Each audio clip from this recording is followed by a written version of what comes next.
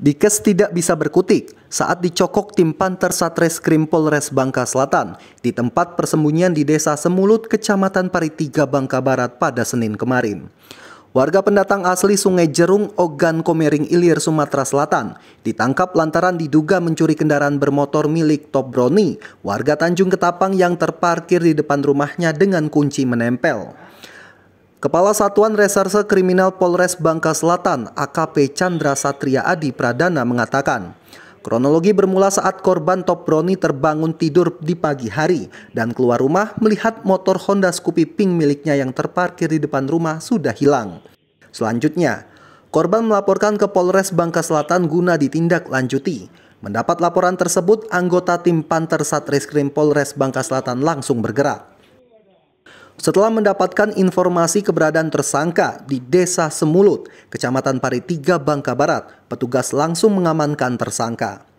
Dari keterangan yang diambil, pelaku mengakui telah mencuri satu unit sepeda motor merek Honda Scoopy warna pink di Desa Sukadamai, Tobuali, Bangka Selatan.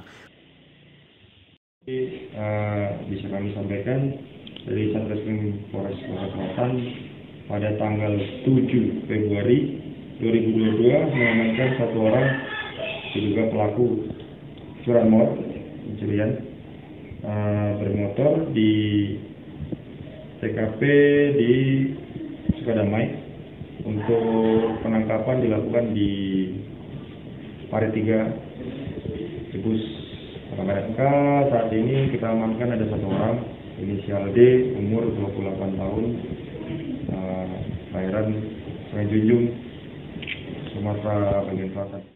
Atas perbuatan tersebut, pelaku patut disangkakan dengan pasal 362 KUHP dengan ancaman hukuman paling lama 5 tahun penjara. Dari Tobuali, Bangka Selatan, Eko Septianto Rasim, TVRI Bangka Belitung melaporkan.